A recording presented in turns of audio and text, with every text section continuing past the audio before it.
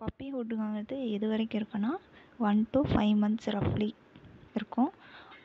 so நீங்கள் ஒரு குழந்தைய எப்படி பிஹேவ் பண்ணுவீங்களோ அதே மாதிரி தான் டாகையும் பிஹேவ் பண்ணும்